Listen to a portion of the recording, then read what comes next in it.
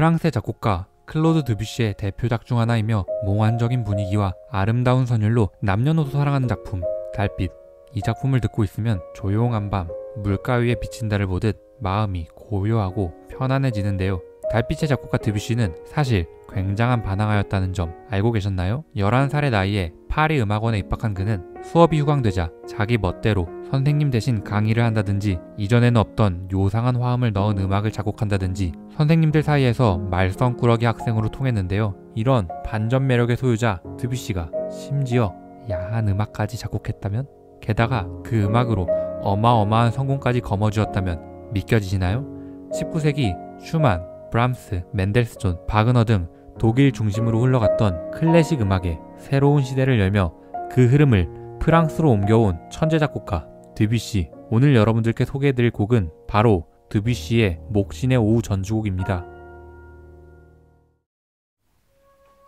드뷔시는 인상주의 음악의 시작이자 끝이라고 불리는데요. 인상주의 음악은 마치 인상주의 미술 작품을 보듯 색채적이고 감각적인 느낌을 주는 음악이라 하여 붙은 이름입니다. 드뷔시의 작품 목신의 오후 전주곡은 프랑스의 작가 스테판 말라르메의 시 목신의 오후를 오케스트라로 표현한 작품으로 목신은 고대 로마 신화에 등장하는 숲의 신인데요. 남자의 얼굴과 염소의 몸 그리고 뿔을 가지고 있고 요정들에게 춤을 가르치는 일을 즐기곤 했다고 합니다. 목신의 오후는 이 목신의 관능적이고 꿈 같은 경험을 다루고 있는데요. 시를 살펴보면 숲이 무성한 대지에 막이 오른다.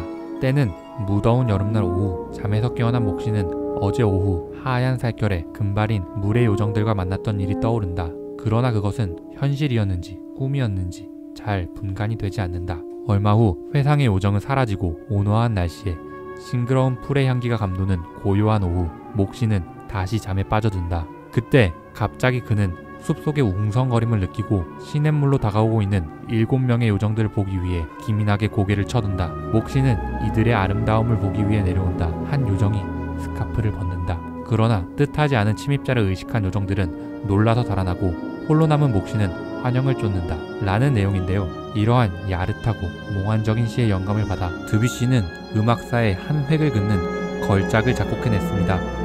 우리가 알고 있는 클래식 음악으로 야한 음악이라니 드뷔시는 도대체 어떻게 이 몽환적인 시에 맞는 곡을 만들어냈을까요? 그 해답은 이 곡의 첫 두 마디에 모두 담겨 있는데요. 이전 시대의 것을 완전히 뒤집는 새로운 화성, 그리고 악마의 소리.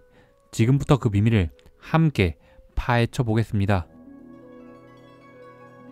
음악에는 보이지 않아도 자연스럽게 발생하는 악센트가 있는데요. 높은 음에 발생하는 피치 악센트, 긴 음에 발생하는 agogic 악센트, 그리고 긴장이 높은 화성에 발생하는 harmonic 악센트 등이 있습니다. 목신의 오후 전주곡 시작 부분의 플루트 선율에는 도 sharp과 솔이 주위의 음들보다 길어 agogic 악센트가 발생하는데요. 이 두 음의 음정은 솔, 라, 시, 도, 네 칸이기 때문에 4도입니다. 그 중에서도 증4도인데요. 이 증4도가 바로 옛 중세시대의 악마의 소리라고 불렸던 음정입니다.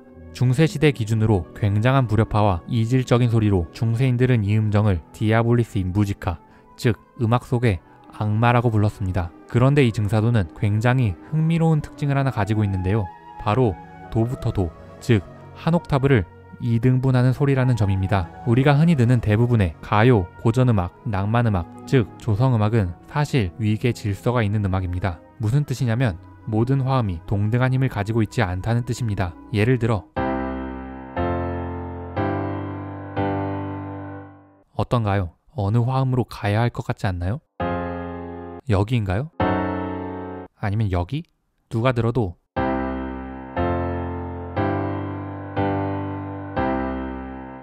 당연히 여기로 가야 할 것입니다. 이처럼 조성 음악은 특정 화음으로 가려는 성질이 있는 음악이며 그러한 성질이 음악을 더 역동적이게 만들고 그 목표 지점의 화음들이 더 큰 힘을 갖는 위계 질서의 음악입니다.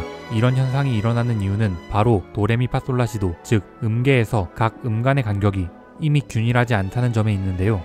그렇다면 모든 음의 거리가 동일하면 어떻게 될까요?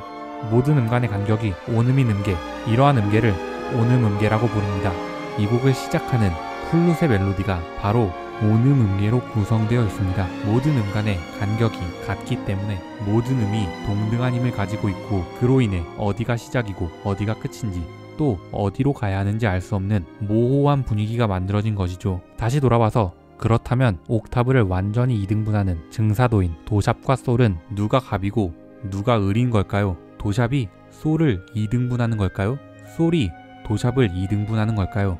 당연히 알 수 없습니다. 이렇게 조성음악 체계에는 없는 모호함이 이상 야릇한 분위기와 몽환적인 느낌을 자아내는 것입니다. 이전까지 장조와 단조 두 가지만 사용했던 조성음악에 드뷔시가 새로운 패러다임을 제시한 것이죠. 마치 피클과 샐러드만 먹던 서양 식당에 김치를 가져온 것입니다. 이 밖에도 드뷔시는 아리랑과 같이 동양 음악에 자주 쓰이는 오음 음계, 중세시대에 쓰였던 선법 등 여러 가지 방법으로 조성음악을 벗어나고자 했고 오늘날 많은 사람들이 난해하다고 여기는 현대음악으로 가는 첫 발판을 마련한 작곡가로 여겨지고 있습니다. 달빛의 작곡가 드뷔시 그의 작품들은 대부분 이렇게 몽환적이고 환상적이며 감각적인데요. 오늘은 그가 어떻게 그러한 분위기를 만들어냈는지 알아보았습니다. 그의 음악들은 듣기에 굉장히 아름답고 감성적이지만 자세히 살펴보면 체계적이고 계획적으로 만들어졌는데요. 아무리 감성적인 음악이라도 만드는 그 과정은 절대 감성적이지만은 않다는 점. 역사의 길이 남은 천재 작곡가 드뷔시조차도 굉장한 고뇌와 노력을 쏟았을 겁니다. 우리가 별 생각 없이 들었을 수 있는 모든 아름다운 음악들 오늘도 수많은 음악가들이 감동이라는 단계에 닿기 위해 노력하고 있습니다. 클래식 타벅스 오늘 영상은 여기까지입니다. 감사합니다.